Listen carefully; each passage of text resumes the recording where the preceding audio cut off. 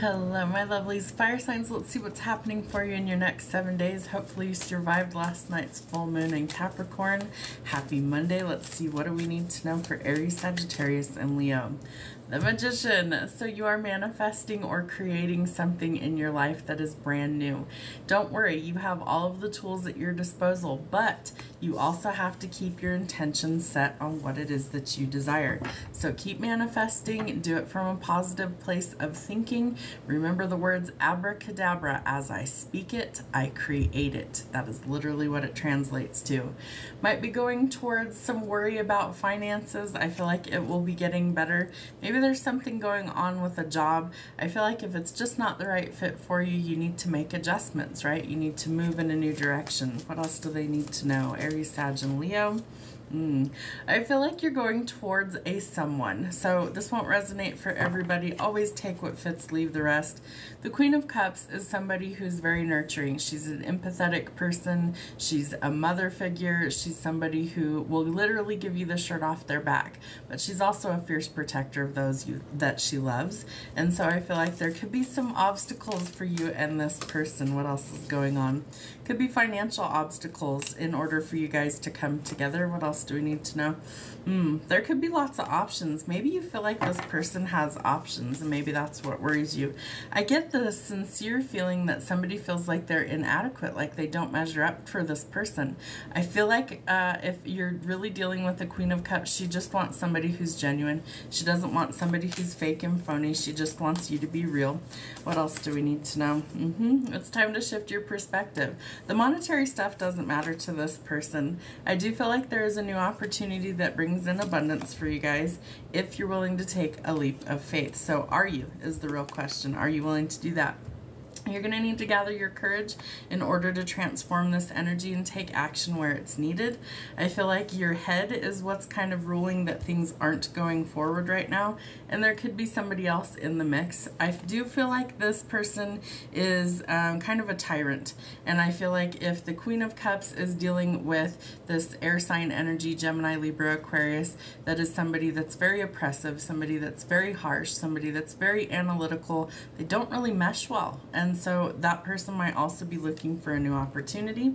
Yeah, getting rid of the conflict and chaos and going towards peace and somebody's facing judgment. I did a reading last week that judgment was coming out and somebody's definitely facing that. So if it's you, if it's them, let's see what signs we need to not ignore in the next seven days. What do we need to see the next seven days? Aries, Sag, and Leo, what do they need to see the next seven days?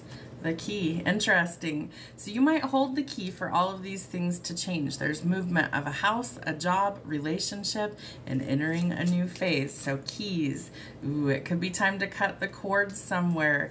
Really, really cut what does not serve you out of your life, no matter what it is, whether it's jobs, relationships, whatever. And the melody. So music is definitely important.